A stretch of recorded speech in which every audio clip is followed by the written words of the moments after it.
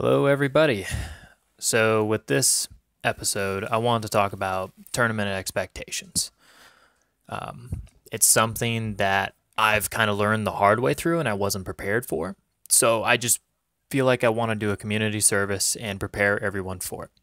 The first time you go to a local eight band steamroller, um, it's you're probably newish to the game. It's you're going to see things that are just better than what you're bringing. It's going to be different than game night. It's going to be a little bit of a shock, but hopefully it'll be with people that you know, with friends that you know, and it'll be a good time still.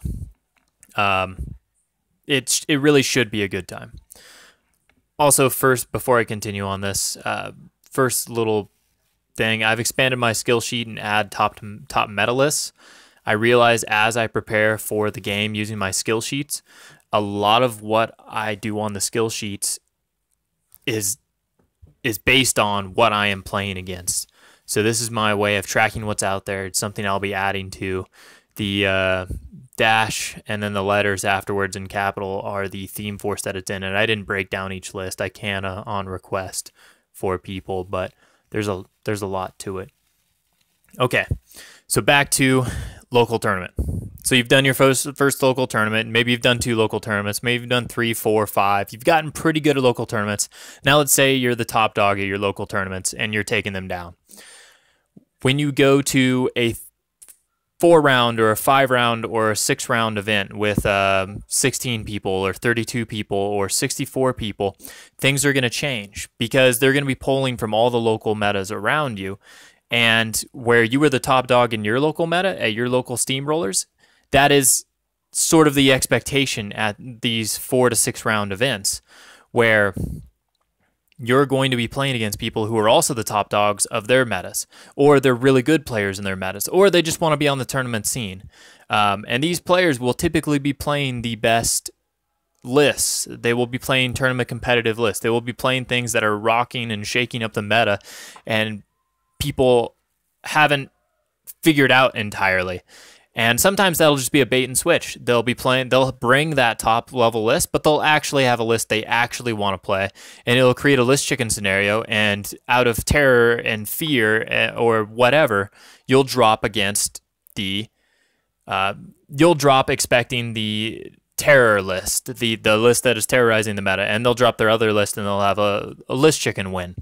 So that is something that you should expect. Um, and at this stage, I just want to say to you if you haven't played your opponent's list and you haven't played your opponent's caster, you are probably just going to lose.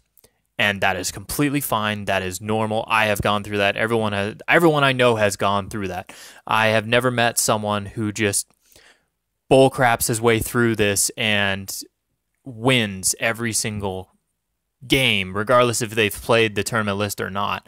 Um, it, it's just not the way things go. I mean, it can, it can go that way. It's just it has not been my experience that that's how this game works. Um, your first bigger tournament is probably going to tear you up. Hopefully, you have people there that you're enjoying it with. Um, but it will be a learning experience. Why do it? It will teach you, it will build you, you will get better, you will know what's out there more. You'll go back to your local tournament and you'll stop teching for your local guys. You'll stop thinking and they're going to beat you and that's that's fine. And but you're you're going to have higher sights. You're going to have higher goals. You're going to have somewhere that you want to get to. Uh, you're you're going to see this this bigger plan type of thing. And I really do mean it when you go to these tournaments, don't build crazy expectations. Now, if you go to a lot of local tournaments and you know the people there and you've beaten most of the people there, that's when you can start can sort of start to set standards for yourself. Like I'm going to be a two and one player, or I'm going to I'm going to three and zero oh this event. Um, and then once you start going to these bigger tournaments and bigger tournaments, and you know everyone there, and you know everyone from the states around you or the provinces around you or whatever, um, and you're you've become a much better player, then you can start setting your standards a little bit higher. Like I want to be four and two, or I want to be four and one, or I want to be three and two, or I want to be two and three. Uh, but I don't don't expect to just walk into these bigger tournaments that you've never been to before and have success. Um, it, there's going to be a lot of shell shock, and I just want everyone to be prepared for that because it can really get you. Um, can shatter your expectations of what you think. Um, you do well against all your local guys, and then you walk into this bigger tournament, and all of a sudden it's high reclaimer adjudicators, and your whole army just melts off the map, and you're like, I don't even know how to play this game. I don't even know what just happened. It's it's just complete shell shock. Um, and maybe you're prepared against high reclaimer adjudicators or whatever, so you make it through round one, and then all of a sudden there's Krueger two bones, and you're like, oh my my circle player doesn't play Krueger two bones, and um, your army gets pushed out on scenario and you lose, and you've maybe you feel helpless, like what could I have done against that? It, these are questions you've never had to think about. So it doesn't stop there, because then when you go to a two day convention, um, LVO, uh, lock and load. Uh, I'm sure there's a crap ton of Euro- European uh, tournaments as well, Bones Con. You go to these really big conventions, and there's a big difference between day one and day two. And every single round, because there might be hundreds of players there, or over 100 players, or close to 100 players. So when you go into one of the master seat, you make it through, you've been smashing the conventions and you've been smashing the local tournaments. Um, you make it through the first two or three rounds, and then you start playing against the people that are smashing the conventions and smashing the local tournaments from where they are, and it's an entirely different game. Uh, getting to day two of a convention is a really is a really good goal. It's something I aspire for. It's something I want to be able to do someday, and it's not easy. And it's just like when you beat the local tournaments and you went to the convention, when you or when you go to the bigger tournaments when you go to a convention, you are going to see the people that are winning all their bigger tournaments, and you're going to see that next level of players. And round one, you might just walk right into JVM playing some new list that you've never even seen before. And he's like, Yeah, I think this is going to be good. And then he's going to smash you with this new list, playing some Bethayne or some freaking Legion Warlock you've never even seen or heard of before. That's just going to happen uh, when I went to lock and load, round one of my Masters heat, I got Brandon Andrews playing Ghost Fleet and Skarre One, and I had a Cyan Shadows, and I was like, well, let's let's do this. I'm gonna take down his freaking Ghost Fleet. I've been preparing for this. I've been thinking about it. No clue what Skarre One did. Um, spoiler alert: he went to win the whole freaking convention, and he knocked me out. He dropped uh, Skarre One, and I was like, oh, there's there's these Wraith engines and things. Um, I don't have very many magic weapons, and then go figure a Wraith Engine kills a Scion. Surprise, surprise. So that that just that just happens. You're gonna meet the larger than life players, the top level players, the top dogs. Um,